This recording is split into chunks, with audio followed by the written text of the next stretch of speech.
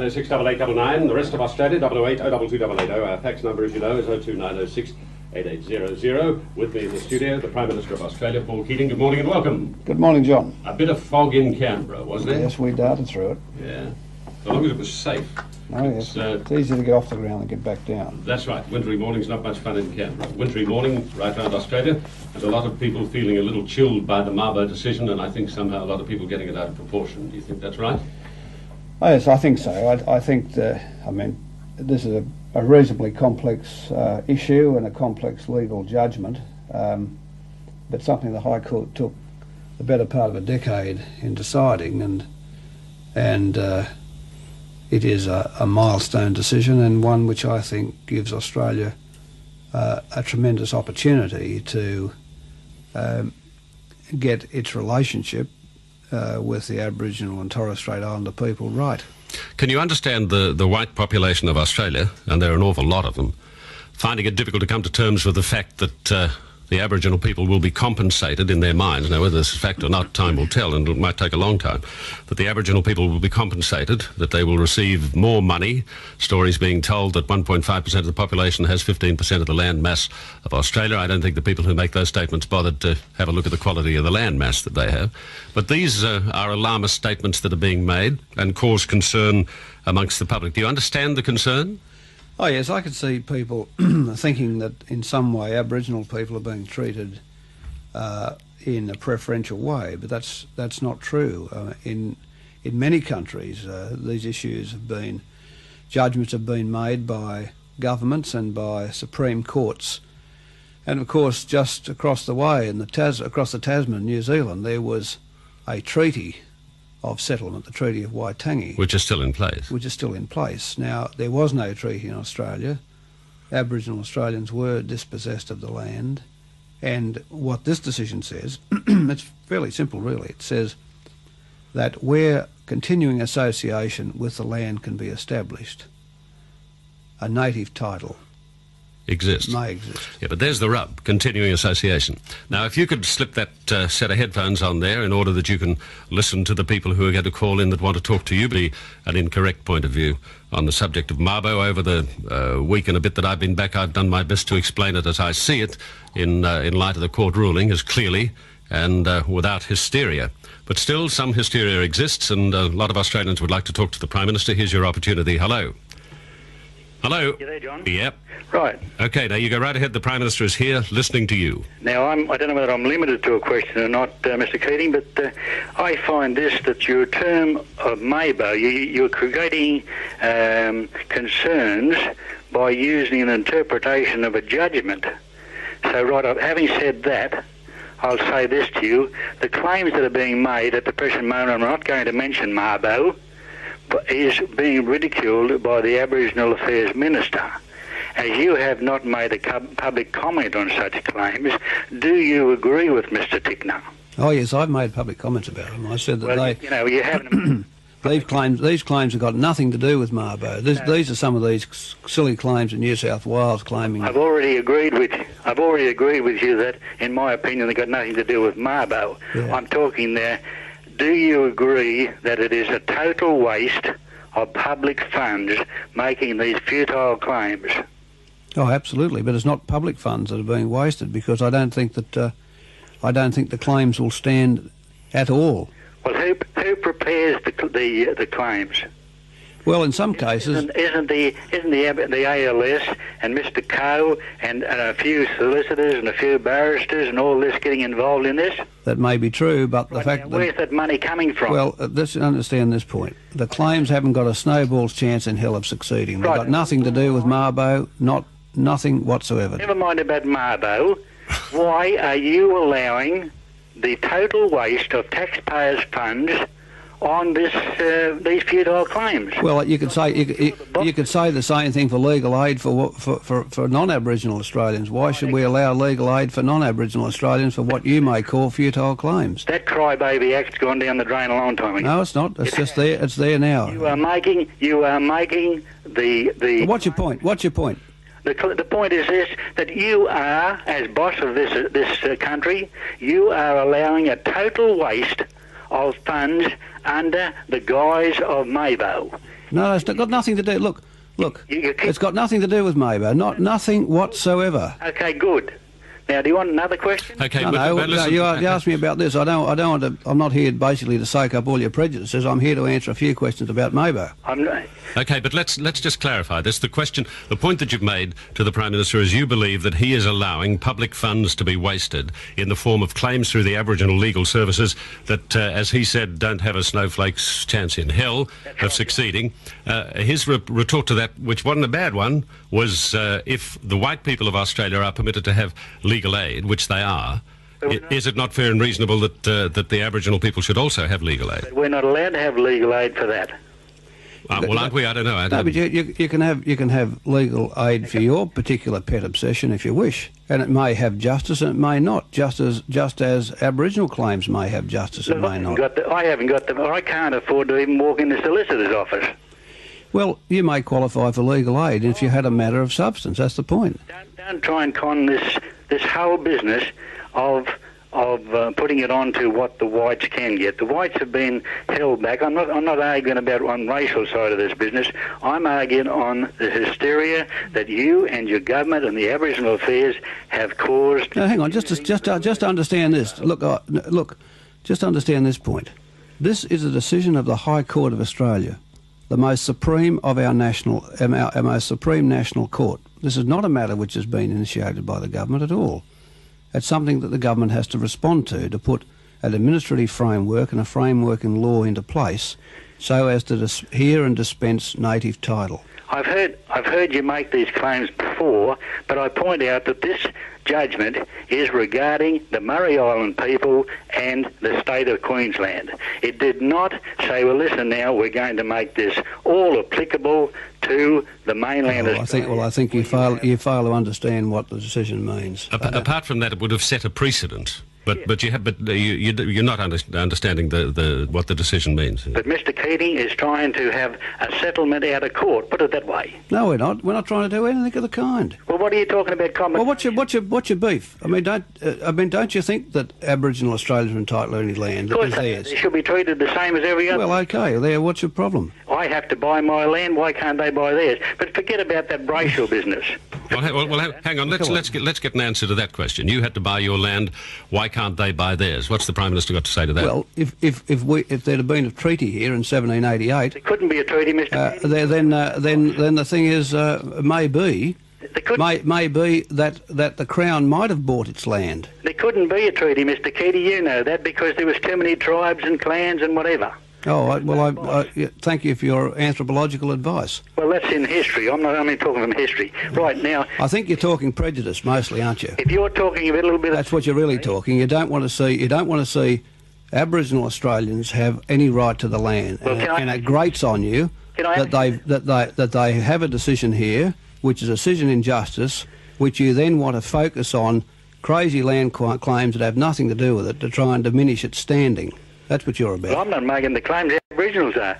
But listen, yeah. Anyway, look. That, I, I think you've had a fair enough go. I understand your point, but let me just finalise this. The claims over New South Wales have got nothing to do with Mabo, nothing whatsoever. But, yeah, but the point is that it's a point of aggravation to the to the average Australian to see monies, which they believe to be their monies, that are provided to the Aboriginal uh, uh, legal services, being spent on claims that are futile and uh, alarmist. Well, some may be, but again, I don't. I Well, it's don't pretty alarmist to hear that they Yes. won two thirds of New South Wales. I know, but I don't. I don't think that uh, uh, the serious people who basically uh, are involved in this issue um, on the Aboriginal side of things are going are supporting these things, and they've said so. And, Yeah. th- and therefore, that'll mean, in the end, there will not be big, big cases and, and long expenses. Yeah, but I'm simply I'm simply asking you: Do you understand that if if the people aren't equipped with the knowledge, and the people are not equipped, you can hear by the, the first call they're not equipped with the knowledge. That if they don't have the understanding, that they get a panic. Well, John, it's probably worth telling people that, just to make this point, that native title is a, a title subordinate to the Crown.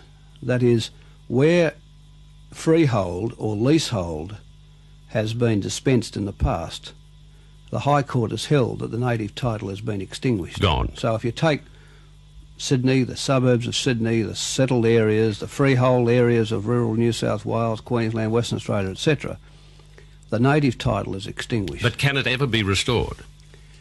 No, it can't be restored where it's extinguished. You see, that's the question being asked by many. It might have been extinguished by freehold title. Can it ever be restored? The answer is no. No. What about leasehold land? No, uh, no, leasehold too, except except for titles from 1975 onwards, which have been invalidly issued. Some invalidly issued. Okay, now we must take another call because that was the, the idea to let the people of Australia talk to you directly so that they would have a better understanding of the problem. Hello? Good morning. Okay, the Prime Minister is here. Yes, Hey. good morning. Uh, my question to the Prime Minister, I'd like to uh, actually ask him quite a few questions on Mabo, but just just a very broad question is, uh, Mr Keating, is why does your government see the Aboriginal people as a much more equal uh, people than the white, the average white Australian? We don't. We see them as equal. Well, you might say that, but all the indications are that you don't. But you, but I think that what's implied in your question is you don't. You think Oh, that non-Aboriginal Australians ought to ha- ought, there ought to be discrimination in their favour against blacks. Not, not, not, not, not what's, whatsoever. I, I don't see that at all. But my, my, myself and every person I talk to, and I, I- and I'm not racist, but every person I talk to, Well, that's what that's what they all say, don't they? I mean, they, they put these questions. They always say, "I'm not racist, but," you know, I don't believe that that uh, Aboriginal Australians ought to have a basis in equality with uh, with uh, non-Aboriginal Australians. Well, of course, that's part of the problem. aren't they more equal than us at the moment with the prefer- preferences they get?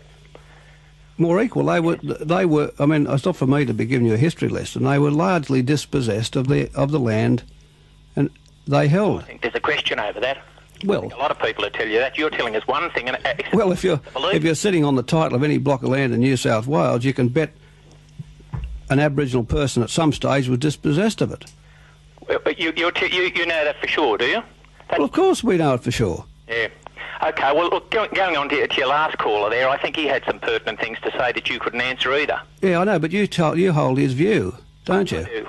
Eh? Of course I do. Oh no, of course you do. But, well, what, but, what, but what is that? Let's let's clarify the view. What is, what, what is the view? Question in general, I mean, is is uh, w- with regard to just the whole Aboriginal question is why, as white Australian, why does the average white Australian feel that he's prejudiced against? Why?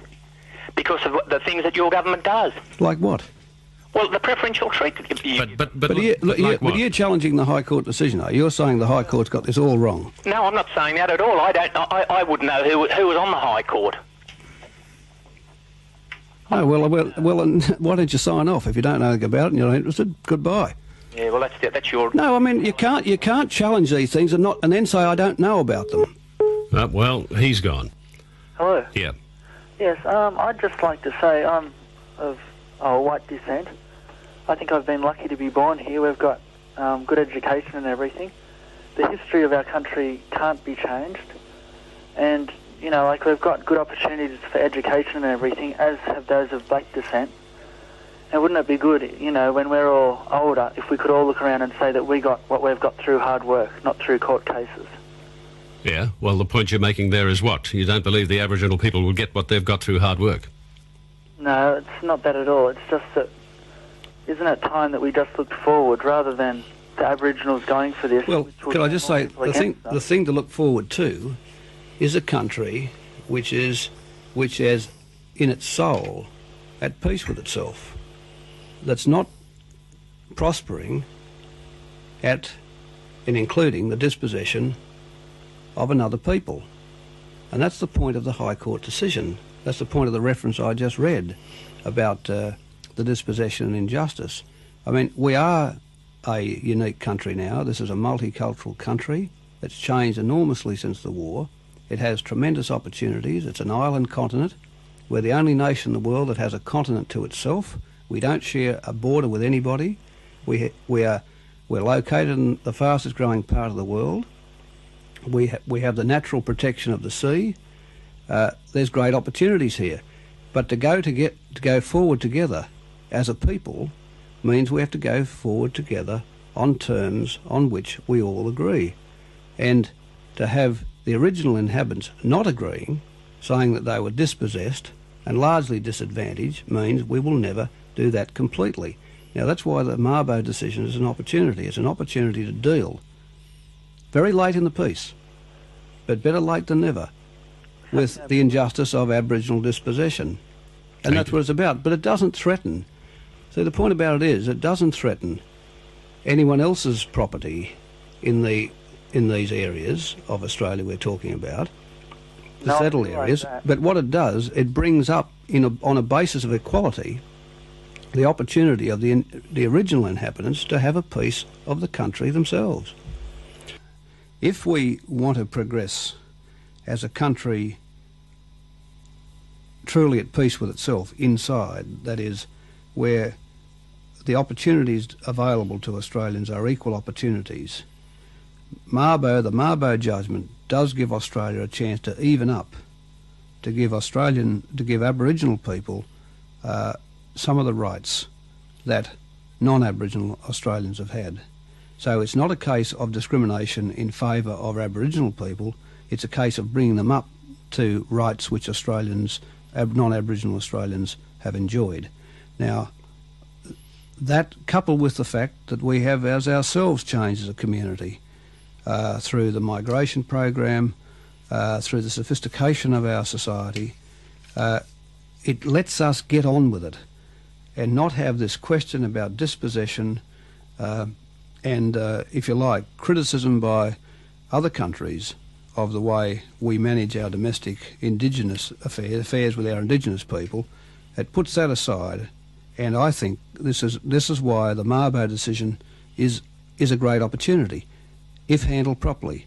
But again, I repeat, left to the decision itself, uh, it will only affect a minority of Aboriginal people. It will only beneficially affect a minority of Aboriginal people, and that's why we have to think about other social justice programs so that land may be provided in some way to those who are formally dispossessed of the land and can't make a Mabo claim. Okay. Prime Minister, thank you for your time. Thank you, John.